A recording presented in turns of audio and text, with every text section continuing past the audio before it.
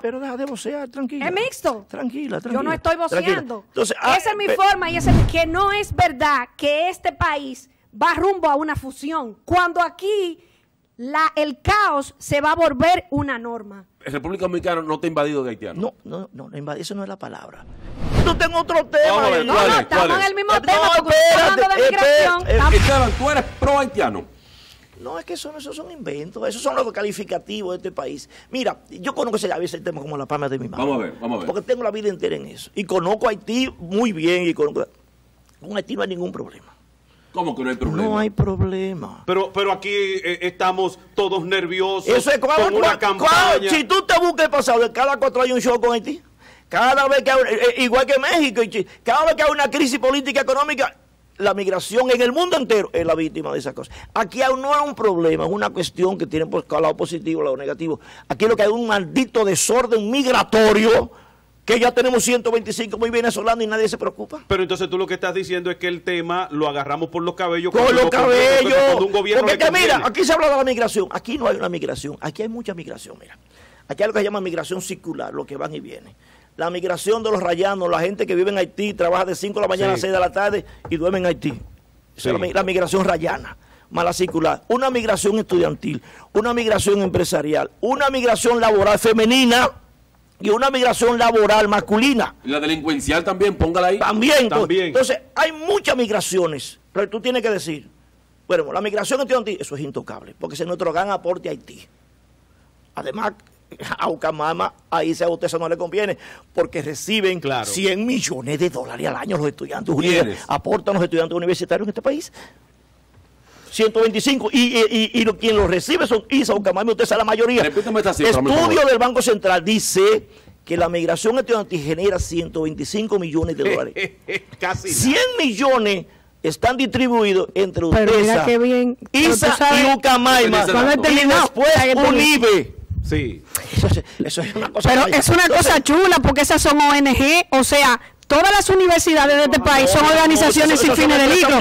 No, no, no, no, no, no, no, no, no, ese dato está mal. ¿Cuál? Pucamaima es una ONG. UTESA es una Yo te ONG. entiendo. Las instituciones Yo te Que, entiendo. son, que son escuelas en este país son ONG. Sí. Entonces, ese aporte no es para el pueblo dominicano, ese es aporte para los bolsillos de esa Pero ONG, yo no- mi espérate, hermano. espérate, espérate. estamos- yo no estoy hablando de pueblo y de esas cosas. Estoy hablando de lo que genera la, la Pero lo genera para ellos. Pero Pero, entonces, mire, yo le voy a poner un punto, porque es que yo no, ese, ese Lo genera para ellos. ¿Y de para qué ellos. bolsillo ¿Y de qué bolsillo? Eh, espérate, pero Es que mira yo qué no estoy chulo. en ese tema, escúchame. Mi- mira qué chulo. Sí, pero de- estamos, de- vamos estamos- a dejar que él De termine. que yo no que estoy en ese tema, que tú tengo otro tema. Ver, No, ¿cuál no, es? estamos ¿Cuál en es? el mismo Eh, tema, no, porque estamos hablando de espérate, migración, espérate, estamos hablando de es los que no beneficios hay- y estamos hablando de la desventaja. No hay una migración, hay varias No, migraciones. claro, porque este país, imagínate, Espérate, tiene las eh, muñecas sin rostro, porque es un país mi- mi amor, mixto. Pero deja de vocear, tranquila. Es mixto. Tranquila, tranquila. Yo no estoy tranquila. voceando. Entonces, ah, Esa es mi forma y ese es mi tono Pero de hablar. espérate, espérate. Mira, tampoco hay una frontera.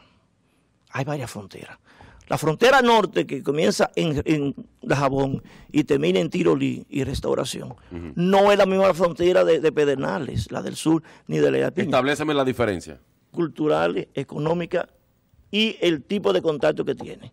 Porque Dajabón tiene una frontera con una, una ciudad que es Juanamente, Juanamente, que está cercana y a una relación de dependencia de ambas partes, en la economía, en el asunto, hasta relaciones familiares, en esas ¿Y cosas. se parecen económicamente? No, no se parecen en nada. No se parecen en nada. Entonces, Pero se llevan.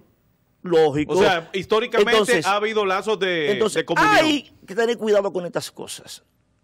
Tú no puedes tratar a Dajabón igual que a Lía Piña, aunque sean fronteras, pero no son la misma frontera. ¿En qué, ¿En qué difiere entonces la de Elías Piña? Es más pequeña, menos importante, menos comercio, Me- me- menos eso- relaciones eso es sociales. Me disculpa, pero si Eso por, me disculpa, pero si por las dos entran haitianos Eso- ilegales, eso entran es- armas, eso entran drogas. Espérate, Yo puedo tratar de pero, un poco pero, pero señor, pero- establecer pero eso. escúchame, ¿qué- qué- ¿quién está hablando? Es que tú te sacan de un, de un mangú.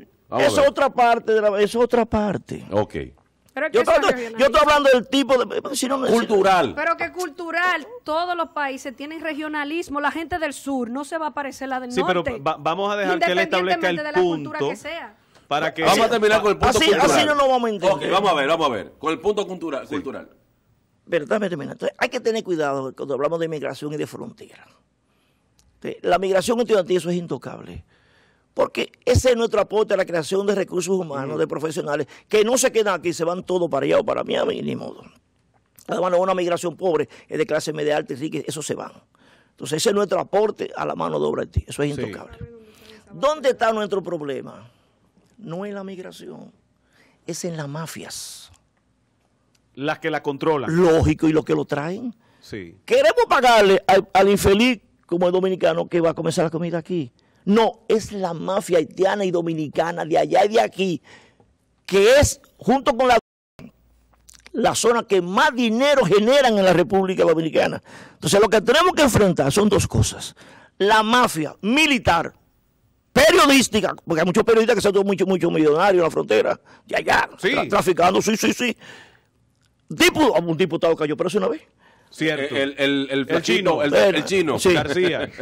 Toda esa mafia, jueces, toda esa mafia dominicana y haitiana, ahí que está el problema. Ahora, vamos al caso tuyo. Aquí hay un desorden migratorio que tenemos que meterle mano. Porque por ahí puede venir, como tú dices, armas, terroristas y todas las cosas. Acaban de agarrar un, un haitiano con 92 pasaportes haitianos y 11 mil dólares. No, pasaporte Y él- dominicano. No, no, haitiano, haitiano. haitiano. Haitiano. Y él se defendió y dijo, no, eso es como usted en su país. Ellos estaban ocupados trabajando y yo fui a hacerle la fila con cada pasaporte. Ustedes saben de la Lo venía a traer a- al consulado haitiano en, acá en el país. Hacerle la Eh, fila. eh, ahí que está el Yo, problema. le- yo lo, lo vi la, información. te- pero sí hay- te voy a- te- te voy a tenemos poner, tenemos ejemplo, que ponerle... eh, ahora, ¿dónde está el problema fundamental? Y el problema laboral no te preocupa porque hay quienes entienden, y la pregunta te la hago, yo tengo mi idea de eso, pero quiero que me contestes tú.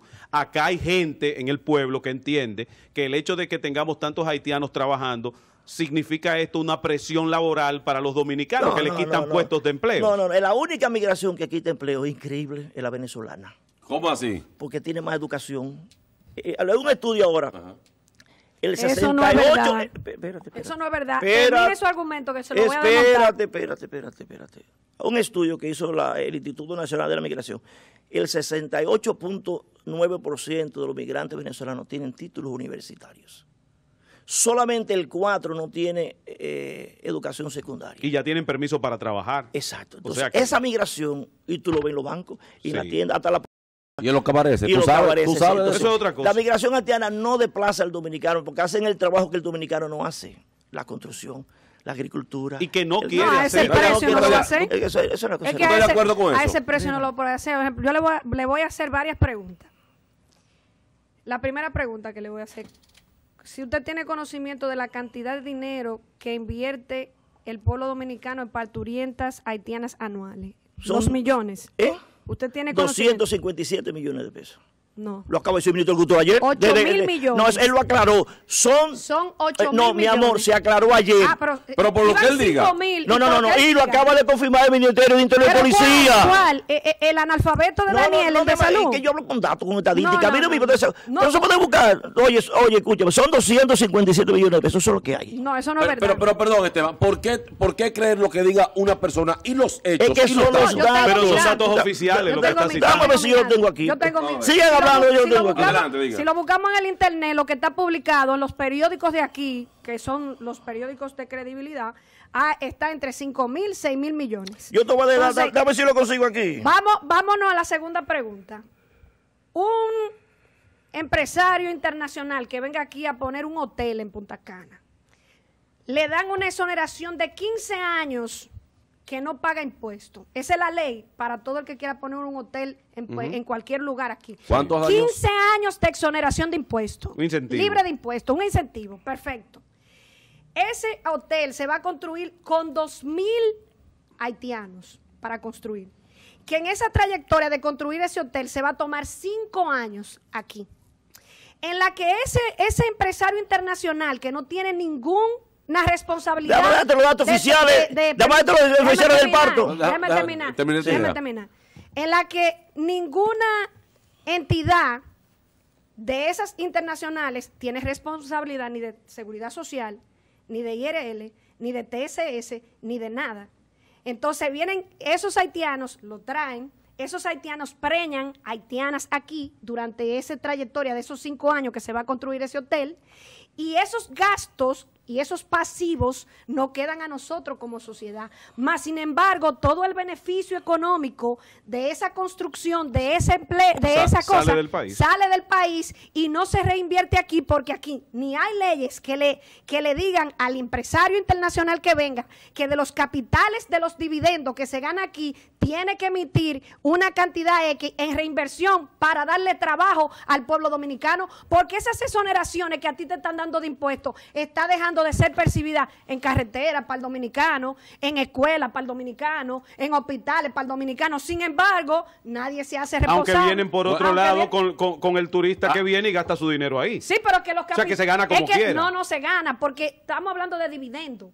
Cuando yo te hablo de dividendo, es las ganancias netas que me quedan a mí de ese negocio que yo no, no tengo que invertir aquí. Y me lo voy a llevar de aquí, me lo voy a llevar para otro Exacto, país. invertirlo. como dividendo. Debe dar los, datos lo dato. oficiales del Ministerio Vamos de. Salud Pública y del Ministerio de Interior y Policía. ¿Tú crees en ese, en ese Lógico, ministerio? Lógico, son los datos oficiales. Yo no creo en Eh, eso. Bueno, Ni pero no yo. problema de Sí pero, creer. sí, pero ese es el dato Eh, eh, oficial. Esos son los datos para, para oficiales. rebatir un dato oficial tendríamos Exacto, que tener la exacto. data de otro dato que diga Yo no, lo, yo no lo- es esa, yo son lo estos. tengo, lo Pero- tengo. pero El déjeme hablar, pero hizo déjeme- el doctor Orlando García en el libro con, Pero- un, con pero- un- con un trabajo de campo que lo déjeme- documentaron de- con el periódico Listín Diario. Está bien. Vamos a ver, dame los datos que dice el ministerio. El gasto por parte está establecido, sea o por cesárea, ajustado al índice de precios al consumidor de 2019. Ese gasto multiplicado por los partos eh, practicados arrojó un total de 334 millones 867 mil 069 pesos para 2019. Dato 4. Hay que decir que ese monto del 8% del gasto de salud del paciente representa al menos el 0.3% del gasto de salud del Estado. El 0.3%. Oye bien, por mucho que haya crecido del 2019 a 2020, aumentaron los partos de 27.977 a 30.322 los partos de pacientes extranjeras o haitianas. Entonces, Me ahí- gustó lo que- dijo, no deja- me no gustó lo que dijo Germán. mucho, ¿eh? Di- Me gustó lo que dijo Germán, que para rebatir ese dato hay que buscar otra data. ¿Qué data tienes tú, Yadira? Aquí dice en el periódico Listín, en el Listín Diario. ¿De en- cuándo? ¿De qué Del fecha? 16 de noviembre del 2021. ¿Qué dice? Parturientas haitianas provocan gasto de 8 mil millones en maternidad. Te estoy diciendo que eso se aclaró, estos son los últimos datos de ayer, mi amor. Y si lo busco más para Pero, atrás, mi amor. cuando estaba el Pero ¿quién da PLD iba en dato? 5 mil Mi amor, millones. es que si tú no escuchas, estos son los datos que se aclaró ese dato que es falso. pero es una estos son cosa- los datos de ayer oficiales. Yo soy increíble. periodista, yo digo, mucho, y tú te equivocas y vaya, aclaró, se aclaró que no es Entonces, verdad. ¿cuál es la alarma? Que haitiana, que haitiana, que haitiana, que van No a parir hay, en la casa de porque es un asunto de... de esta- mira, Entonces mira, ponen atiende. la foto de Daniel. Atiende. Y aquí vuelven y dicen. Atiende. No, porque, porque 13 de hay, o sea, miren cuál es, miren dónde está el problema, que en los últimos tres años El 13 de los partos de haitianas Que eso se aclaró, han aumentado. Mira, mira eso ahí que dice. que yo lo tengo, Sí, yo, sí, tengo que eh, yo tengo la estadística. el dato se ¿Y- aclaró. que se aclaró? Mira cuál es la situación. Yo voy a solicitar mediante la ley 200 Entonces, ¿dónde- dónde está el problema? Bueno, es- que han subido el número que de partos. Yadira, pero Es que- mía, es que no hacemos comunicación mira, de esta lo que manera. pasa, te voy a decir una cosa, Esteban. Así como tú hablas, que tú tienes datos y que tú tienes información, yo no soy periodista, no me dedico a eso. Me dedico a mi profesional empresa. Entonces, soy una persona muy leída, soy una persona que me gusta investigar. Yo tengo una maestría en, en negocios internacionales de la Universidad de España y representé a la República Dominicana en el año 98 para estudiar negocios con más de 160, eh, 100, eh, 120 Conocemos culturas internacionalmente. Entonces, no es hace dos días que yo vengo desligada del multiculturalismo y de, y de lo que está aquí y de lo que está allá. A mí me avergüenza cómo la gente dice que no es verdad que este país va rumbo a una fusión, cuando aquí la, el caos se va a volver una norma. Aquí una dominicana para parir un muchacho tiene que buscar 7 mil pesos para ponerse una pinta de sangre en un hospital, mientras que una haitiana aquí pare gratis. Si una dominicana va sin el seguro de Senasa eh, eh, subsidiado, no la atiende. Sin embargo, si va una haitiana, la atienden. Entonces hay un problema. Hay un problema de identidad, hay un problema de conocer tu derecho. Y la misma constitución en el artículo 75, numeral 5, dice que usted, él, cualquiera debe abstenerse de generar comentarios y situaciones que pongan en riesgo la soberanía del país. Y eso no me lo estoy inventando. Yo eso está en la constitución. Ahora bien, tenemos a bien saber que los tratados internacionales, como el Tratado de Derechos Humanos del, do- del 2005, que se celebró en Costa Rica, y otros tratados que hay, ceden parte de, de su soberanía para que se maneje lo que es el derecho humano universal al cual nosotros pertenecemos. Pero es absurdo para mí que, por ejemplo, el defensor del pueblo agarre la ONU y venga y haga una entrevista con él. Un departamento que maneja, creo que son 678 millones, donde ese tipo lo que debería estar eh, eh, eh, verificando que se cumplan aquí, que las dominicanas estén aptas para recibir su servicio de salud en los mismos derechos humanos que los recibe la haitiana, pero eso no es lo que estamos viendo aquí. Entonces, Entonces, eso ¿a yo no lo puedo está defendiendo defender. ahora el defensor del miren, pueblo? A la Tú, ves que lindo y hermoso cuando tú hablas yo te escucho. Pero quiero hacer una Tú ves puntualización. que hermoso cuando este niño te escucha. Escúchanos. Quiero hacer una pero yo No, no, espérate, espérate, espérate, espérate, espérate. Artículo 174 del reglamento de la ley de migración. La detención será el último recurso.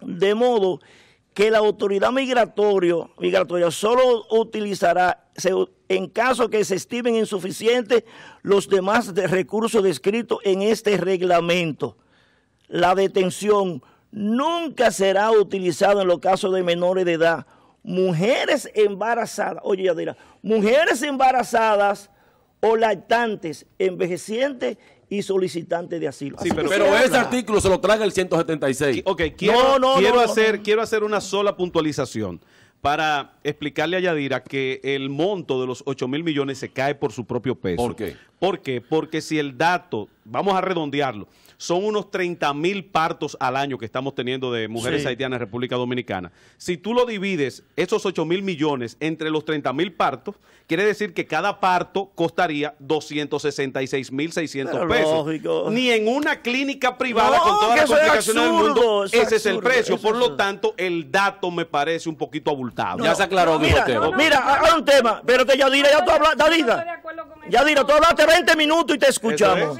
asunto, Pero- porque una cesárea... Yadira, pero tú hablaste 20 minutos. No, no, Yadira, no, no, tú hablaste no. 20 minutos y te escuchamos. Tranquila, tranquila. Miren, esto es un problema de política. ¿Qué, Pues, es de política. de geopolítica. qué- ya- ya qué política migratoria tiene la República Dominicana frente a ti? En, en papeles la tiene. No, ni en Pero no se ejecuta. Ni en papeles. Sí, que usted acaba de Bueno, leer la una. ley migratoria. Eh, usted acaba de leer un artículo. No, no, ahí, eh, eso, eso- bueno, sí, En la está- Constitución está, está. está bien, está bien. Miren una cosa. ¿Cuántos embajadores dominicanos conocen Haití? Ah, ah, pero el pasado gobierno eh, tenía 13, vi- oiga, 13 vicecónsules eh, No en- sabemos. en Puerto Príncipe. Mira, un migrante haitiano, que yo, yo tenía un empleado, que yo creo que trabajó aquí, haitiano, camarógrafo, Se la llevó la cámara. hablaba, no, no, no, hablaba inglés, francés, creol y español. Y era el corrector de los textos que escribían los dominicanos, que escribían todo con faltas ortográficas, y quien corregía los textos de los dominicanos era el haitiano. ¿Tú sabes cuántos dominicanos hablan creol? ¿Cuánto? No, no creo que hayan 40. Te estoy diciendo cómo andamos de espalda. Pero ahí. nosotros Pero- también somos duros en algunos sentidos y que le aportamos a Haití, a otra nación también. Sí, pues también, también. Pero ¿por qué Mi- se Mira, mira un elemento, mira, mira un elemento. ¿Por qué se quiere denigrar Mira, tanto mira, a dominicanos mira un elemento importante, mira un elemento importante. Que a ti es un peligro de seguridad, por Dios. Cuando, porque aquí el presidente no, no sabe manejar el idioma, el lenguaje. ¿Cómo que no? El presidente de la República. No, hombre, no, hombre. Ahora, Esteban, es que tú no viste esas bandas armadas hasta los dientes. Ahí anda barbecue. Y los tucanos y Con una Pero, que pero yo me refiero a eso. Cuando tú dices fulanito de un estado, es peligro de seguridad. Tú estás diciendo que ese es tu enemigo. Sí, Si digo que, que, que Sue es mi peligro para mi seguridad, tú eres mi enemigo. claro. Haití no es nuestro enemigo. Tú eres un peligro para la seguridad de Abel, por ejemplo. Yo no sé, Haití no es peligro de seguridad, no es nuestro enemigo, es nuestro No, casi vecino. nada tuvimos, Haití no sé tiene cuántas una... liberaciones ni cuántas batallas, ni pero- nos liberamos fue de China, seguro que sí, que fue de China. Que nos Hay hechos históricos, Esteban, que de China, olvide, fue- ¿verdad? No, yo no soy ningún pedigo, un país sin Espérate, presidente, sin ¿qué comida, no sin banco central, sin, sin, sin, sin congreso, manejado por baldas armadas. No, no, no, eso no es ningún país. Fue una utopía, muchachos, no te hay pongas hechos eso. Histórico no, no. y sobre todo cuando se... ¿Cómo que no podemos entender. Se- Estamos en un medio de comunicación que se llama comunicación. Entonces tú tienes que escuchar yo hablar. Entonces yo te escucho, no, así no podemos. yo- Está- bien. Porque sobre todo es una regla de la decencia. va- ok, vamos, vamos a escuchar. Hay una regla de la decencia, tenemos que escuchar. Aparte de los datos históricos que todos conocemos, como dice Germán Dominici, ahora mismo con la crisis política y lo que se ha estado moviendo, vemos, hemos visto haitianos y bandas eh, eh, eh, eh, Dominando poniendo- Haití. por- domina- no, poniendo, dominando Haití y poniendo en peligro aquí, que han quemado casi de todo en estos días, Eh. Dame un ejemplo de- del peligro, de la crisis ya, ¿cómo se refleja aquí? Por ¿Cómo que- ejemplo, hay una mayor migración desde No, la muerte de... ¿Quién ha demostrado eso? Bueno, Pero ¿cómo que quién ha demostrado eso? Esteban, hay unos videos aéreos que tú ves a gente ¿Qué pasando pasa? por ahí por la finca, Ese por donde video, eso es de, de, de, de, de Haití, de, de, de, de, de, de Ceuta en español. Yo Y, puse y- y video. los videos de, y los videos de todo lo que está en México, que lo dejen circular. ¿Dónde pero salieron es ellos? México. Pero si eso es México, imagínate aquí. Yo lo que quiero que ustedes, yo lo que quiero que ustedes aprendan una cosa. Vamos a ver. Y eso yo lo he, lo he aprendido una cosa. Y se lo doy como consejo como Ay, Sí. Dios mío, esto sí es grande. Mira, en la comunicación hay una palabra que es peligrosa. La emoción. Nos emocionamos y decimos de todo. No, no. Es la razón. Ser racional. Que digan que. No, no, yo no, yo, yo- yo no tengo. Yo nada más tengo emociones cuando hago el amor. Después yo no siento. Y cuando va a hablar del tipo, no te creas. Exacto. Te Yo no- hemos visto no, emocionado. ahí- te hemos visto ahí, excitado con el tipo ahí, de aquí. No ahí, digas que ahí. no. Entonces, yo les recomiendo, yo les, reclam- les recomiendo a todo el mundo, a los que están, a ustedes que están en los medios, que esto es sin emoción. Usted con paciencia, tranquilo. Cuando te- el problema haitiano, no, no digan eso. La cuestión dominico-haitiana. Porque si dice el problema haitiano, el problema americano, ya es un conflicto, porque el problema significa conflicto. La cuestión dominico-haitiana es una cuestión neutral. Ok, la cuestión dominico-haitiana nos está tragando a nosotros. No, no, no, no, no, se Mira, Haití es una oportunidad. Véalo así, es una oportunidad para la República. Ay, ¿Cómo así? ¿En qué sentido una oportunidad? Bueno, es un mercado. Económico y social. Es un mercado.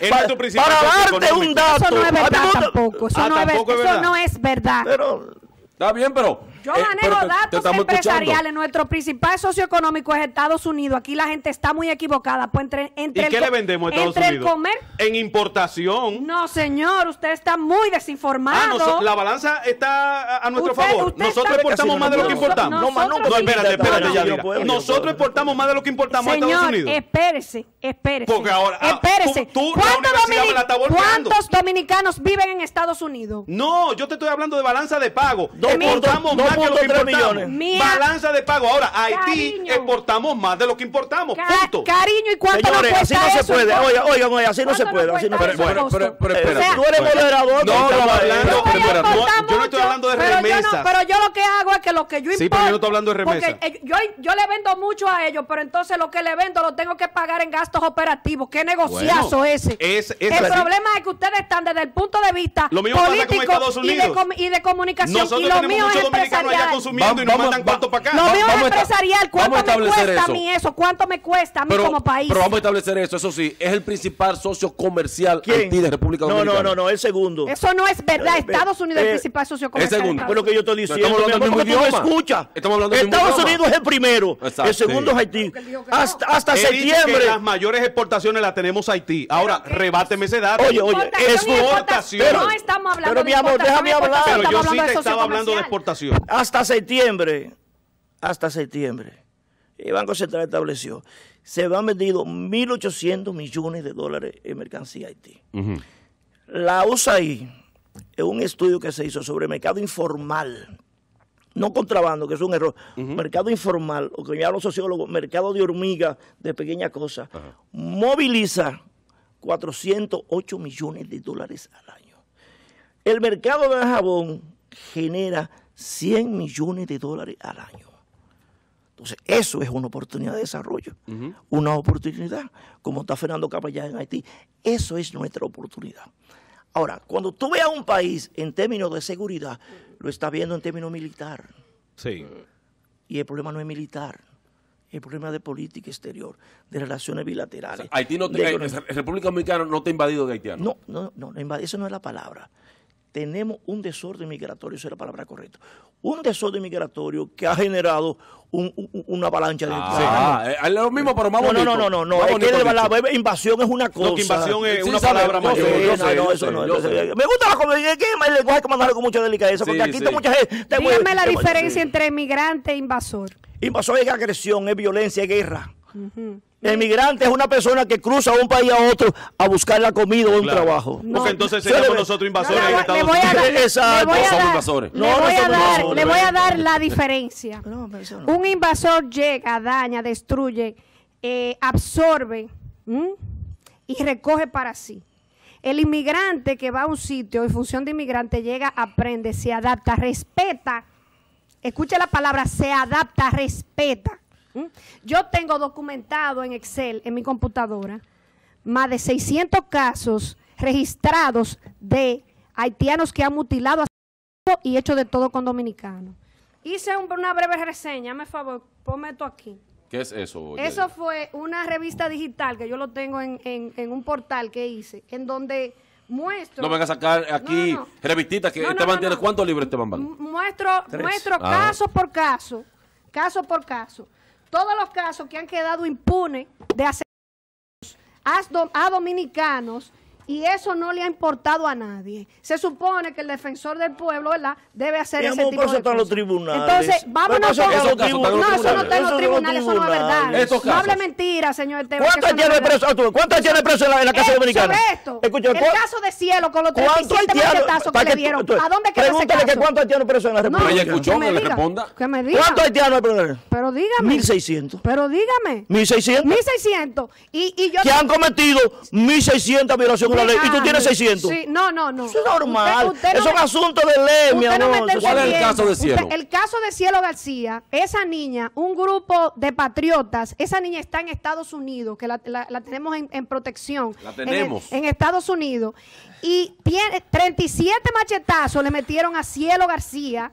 Y aquí no se hizo absolutamente nada. Y Jeffrey, el tipo que la, que la macheteó, anda en las redes sociales sacándole la lengua a, Bueno, la- porque la a las justicia actúa, autoridades. es que la justicia actúa. Entonces, voy pero a- está bien, pero vamos, está bien. vamos a poner el reglamento suyo con el tema de la migración en la haitiana. Búsquese el, el reglamento 131, que es el último reglamento de la actualización de la ley de migración. Yo, lo tengo aquí. Busca el artículo 37. Sí. Pero, Pero Dice, ya- ya terminaste. dice, para los casos en los que las madres no, no poseen pasaporte, cédula de extranjero vigente o su carnet de residencia, el administrador del hospital, del centro de salud correspondiente, soli- solicitará la intervención de un inspector de migración. ¿Y qué tiene eso? ¿Eso está correcto? Eso Pero está bien. para ¿Eso está bien? Para su proceso de deportación. No, no, no, no, no, no. El hospital no puede deportar a nadie. Claro que No, no, tiene no, no. que reportar, No, no, no, porque llegó Escúchame, ilegal y escúchame, aquí las escúchame. Una atienden. ley universal. Y aquí las Escúchame, atienden. Una ley universal. Y lo dijo, lo dijo. Pero, ¿y qué, qué, qué, qué derecho humano que tú Espérate. te vas- tú te Pero él te- pero él te vas- escuchó vas a eso. una clínica y a ti no te atienden si no tienes 100 mil pesos. pero él te escuchó eso, pero él ¿Qué- quiere decirte lo de la ley es? Pero yo universal. te escucho, mi amor, y tú no escuchas. Dígalo de la ley universal. Y Daniel Rivera dijo una cosa importante, que es universal. A ningún paciente se le niega la atención médica. Dígaselo a una clínica pública. Pero que está confundiendo clínica con hospital, mi amor. Cuando tú vas a una clínica tienes que depositar En- los 100 en mil, pero si tú vas al Darío Contreras, tienes que depositar los jodidos No, 100 mil. pero tiene Es que que yo no andar con entiendo. 20 mil. Porque La- me están confundiendo. la ley Pero, univer- te- pero la tiene ley que andar con 20 universal. mil para la jeringa y para las pastillas. La ley cosa, universal no de te derechos humanos a- a- a pagar dice que a 50, nadie se 100 le debe se le debe restituir el derecho En a la salud. La ley universal de derechos humanos en Estados Unidos usted no puede tener dinero y yo puedo ir con una visa de paseo y si yo tengo un accidente a mí no me dejan morir. Claro, y te lo y puede ser una clínica privada y a mí no me dejan morir. Y En lo República. Dominicana usted va y usted lo chocaron y usted llama al 911 y el 911 está en ese esquina y En se lo eso va a llevar estamos de acuerdo, pero, eso Ahora, no- pero ahí no aquí- entra el tema haitiano. aquí- En eso estamos de no lo acuerdo. Pero ahí Aquí no hay- entra el tema haitiano. Hay un problema No con los, ¿Cuál empre- es? que- con los empresarios. Sí. Eso yo lo he estudiado mucho. una vez. Escribió, escribió varios reportajes en los periódicos. ¿Por qué muchos haitianos? No digo la, la parte oriental. Muchos haitianos van a los hospitales. Todos los haitianos trabajan, ¿eh? Todos los haitianos trabajan. ¿Y por qué van al hospital? Por esta razón. No será beberse una cerveza. No, Tiene que ser servicio que están, gratis. están enfermos, no. El haitiano trabaja. ¿Tiene seguridad social? No, ¿Tiene doble sueldo? no, ¿Tiene bonificación? tampoco. Si no tiene seguridad social, ¿Dónde va a ir? ¿y qué hacen los empresarios? Cuando la ponen, te roban el dinero y no lo pagan y te lo cobran. Es cierto. Ha sucedido. Entonces, si tú te enfermo, Eso es muy poco, porque si tú no la pagas, no te liberan los comprobantes fiscales. Oye, porque eso está No, todo lo, lo enlazado. que él está diciendo es que le cobran como si fuera al empleado que es extranjero, como directo, si directo. estuvieran pagando la yo TCS tengo, Mema, yo y tengo, no la Mema, tributan. yo tengo empresa. Y no la tributan. Oye, oye, oye, y no la Pero se la rebajan. Exacto. Entonces, O se la pagan dos meses para que tenga el carnet y entonces después el muchacho anda con el carnet. la responsabilidad empresarial, la responsabilidad empresarial, y ahí tú tienes razón, la paga el Estado. Claro. Porque si tú te enfermas, ¿dónde coño tú vas ahí? Escúchame el coño, ¿dónde coño tú vas ahí? Tú no te vas a dejar morir. Ahora, aquí viene otro problema, que yo sé ahorita, de las mafias empresariales con la migración haitiana y las mafias militares. Pero también, ¿quién es el principal eh, empleador de haitianos en la República Dominicana? Es el gobierno dominicano. La construcción. Las grandes obras de este gobierno. sí. Incluso ese Abel Martínez que habla eh, de bobería, lo, lo que hacen son los haitianos. sí, que van a la acera Sí. son los haitianos. Pero, pero haitianos legales. No, ellos lo que hacen es que subcontratan. Es que aquí te reclaman nada. No, Aquí subcontratan, no te reclaman subcontratan nada. una compañía y esa compañía se echa el que muerto. acabo de encontrar un bajadero ahí, algo que no me concuerda con algo que tú has dicho. Que no estamos invadidos porque ya eh, explicamos lo que es el término invasión. Pero sí reventado de, de- de haitianos aquí. Pero tú acabas de decir que la mafia empresarial, la mafia militar, es con el tema haitiano. ¿Y cómo funciona la mafia? Trayendo a los haitianos. Entonces, sí están aquí. Lo que, vamos a quitar el término invasión. Pero de que estamos Ahora, llenos, estamos llenos. No, no estamos llenos nada. Mira, mira, mira. Pero ¿cómo Aquí, aquí hay 22 puestos de haitianos de vigilancia. Como 22 puestos de haitianos. O sea, pa- para detectar Para, de- haitianos. para que no pasen. O sea, imanes de haitianos. ¿Eh? Un No, no, imán no, de puesto de control. No, no, puestos de control. Para que no pasen. 22, 22. Sí. 22 en el país. Que no pasan por ahí, lo pasan por atrás, mi hijo. Sí. No, y a veces pasan por ahí mismo. Es verdad. Pagando un peaje. Pero venga acá, mi hermano. ¿Qué pasa? Esa es parte de la mafia. Eso es parte. Esa es parte de la mafia, para que tú veas Ay, cómo señor, esos militares. Pero además, eh, oye, además, siempre hemos tenido un cefrón, una No, eso no vaina sirve. y todas las cosas en los militares. ¿Por dónde sal- pasan los haitianos? Mira, Ahora, yo eh, entiendo lo que dice Esteban. que Esteban, tenemos. Esteban Tenemos lo que. Esteban lo que establece es que el abordaje debe ser distinto. Porque Esteban lo que está hablando aquí, lo que ha dicho hasta el día de hoy, no es que está de acuerdo con todo eso. Es que el abordaje nosotros le estamos viendo. No, que el gobierno está haciendo tal cosa. No, pero espérate también. Hay un empresariado que se ha beneficiado de esa mano de obra Lógico, ilegal y lógico. que no ha tributado. Y entonces, ¿quién Lógico. termina pagando la cuava? Nosotros, Nosotros impuestos. pagamos. ¿Me entiendes? Porque o sea, la- el abordaje porque tiene que ser la más mafia amplio. oye, al empresarial y final están hablando el mismo idioma ustedes dos, que nosotros somos los que pagamos. que tienen, do- ellos Pero tienen dos abordajes lógico, distintos. Los dos tienen razón, pero desde de, de dos puntos de vista distintos. Mira,